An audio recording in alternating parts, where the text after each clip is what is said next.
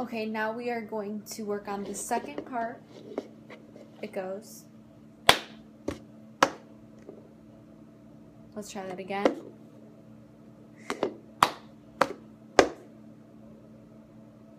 Let's try that again.